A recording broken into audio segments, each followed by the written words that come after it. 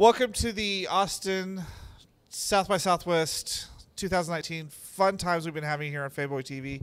We're at the ACL Live Moody Theater, and we are amazed to be here because this is our last interview of the week, and we're going out with a bang. Because I told you guys, if you guys like music and you like photography, you're not going to want to miss this.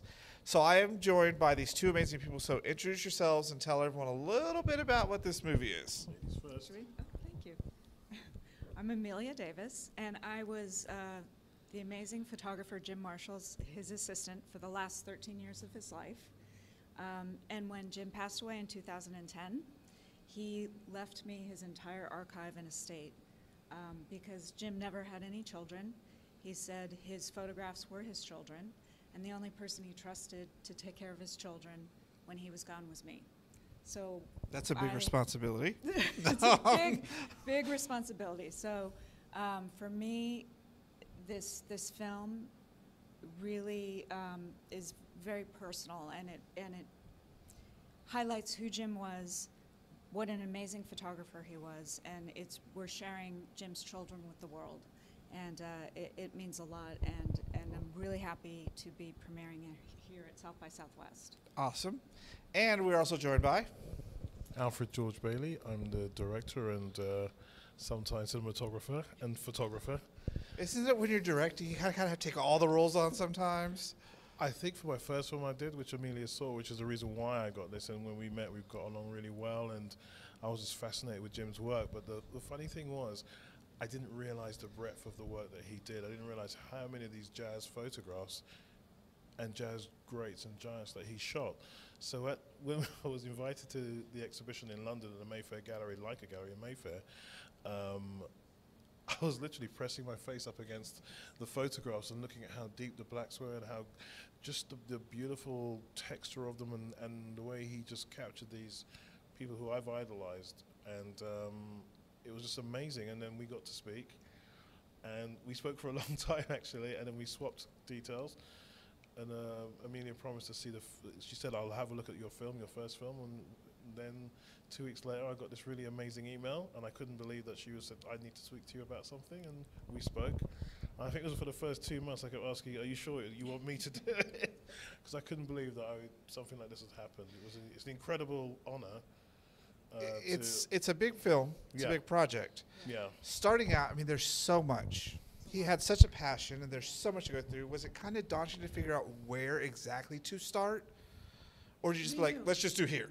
Amelia and I knew from the really from the very beginning because we'd spoken so many times. We did lots of FaceTime conversations, so we knew that we wanted to get um, Jim's death out of the way straight up, right up. But we don't want to say anymore, just in case people. Yeah, need it's- I gotta not say, but it, we'll just say this part that we wanted to get a few things out in the open straight away about Jim, so you knew exactly who you're going to be seeing and the kind of man you're going to be seeing. But then you're going on a journey.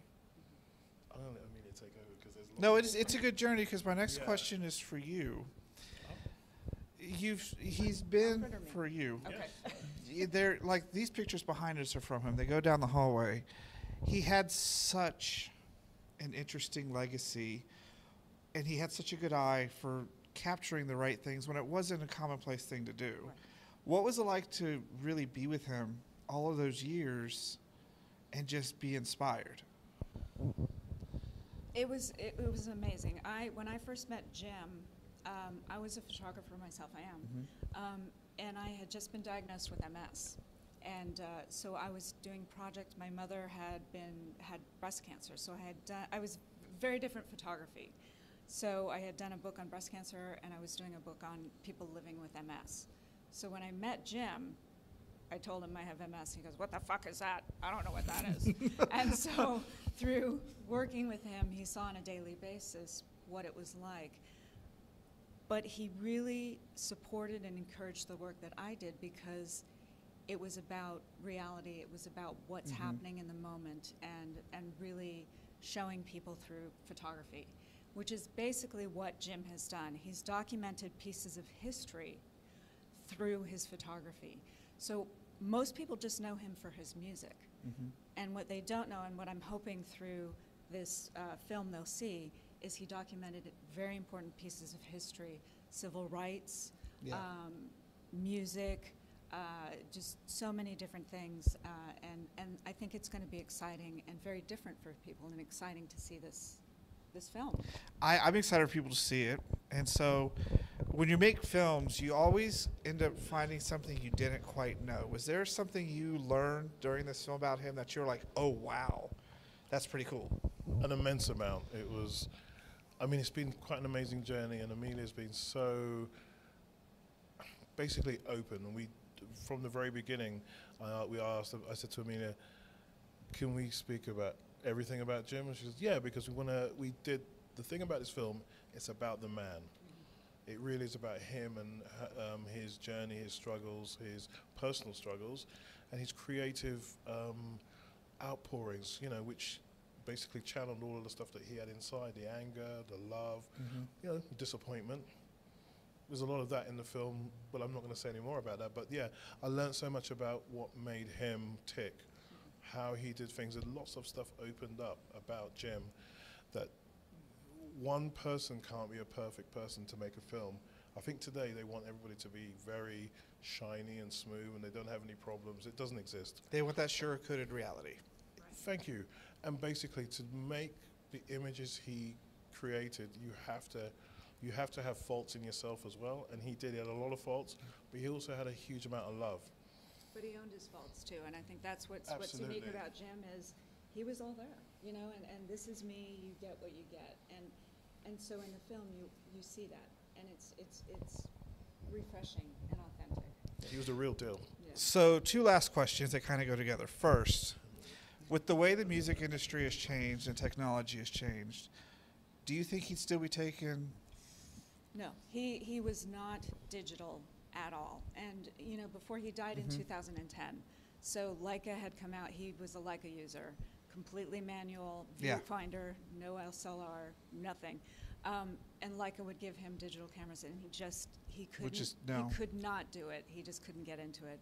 So um, I, I agree with that. yeah. Like I this these take great pictures, but we have an actual photographer who and her pictures are light years difference. But the second part of that question, with today's technology and the overflow of everyone having a phone Yeah. camera in their hand, do you think we'll find another talent like him? No, I don't. No, It's almost impossible. no. It, yeah, because Jim, what Jim he was completely self-taught. Mm-hmm. So he bought his first Leica in 1959, and he basically went out and shot and taught himself everything. So when he looked, he was able to compose in the viewfinder what you see in the photograph. He didn't. He never did any cropping. He never did dodging and burning. He and I just I don't think you can do that today. That's so commonplace today. It's like not even funny. well, they, they take the picture.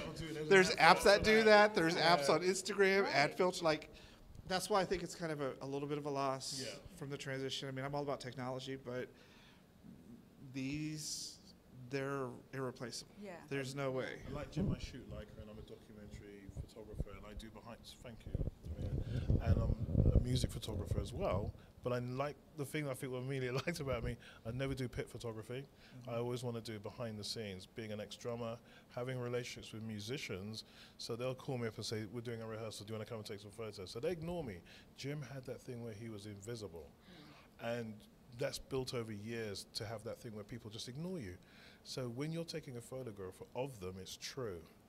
It's a true reflection of someone's feelings, their personal emotions, whether they're in a good mood, bad mood, and you see that in his work. I mean, Amelia's It's there. everything, so you know you'll And you see it. And it is very, it is the decisive moment, what Yeah. Cartier-Bresson said, and, and you can't redo it. Especially with live music, mm-hmm. you can't do a do-over. And Yeah, it's that's- what's done is done. that's that's the thing about live. You're done. You mess up, you own it. Like that's the way it is. So Absolutely. Yeah. I want to thank you guys for this opportunity No, and Thank you. thank you. I hope it premieres tonight, right? Tonight, That's right. yes? I can't wait for people to watch it. And they'll be like, "Well, I've seen that picture somewhere." Now they can put everything behind it and Yeah. keep up the good work. Thank you. Good luck with the legacy, Thank you. and keep up the good work. Good luck with more films. And that's so it for our interview for South by Southwest. We'll be back from the gaming convention later this afternoon.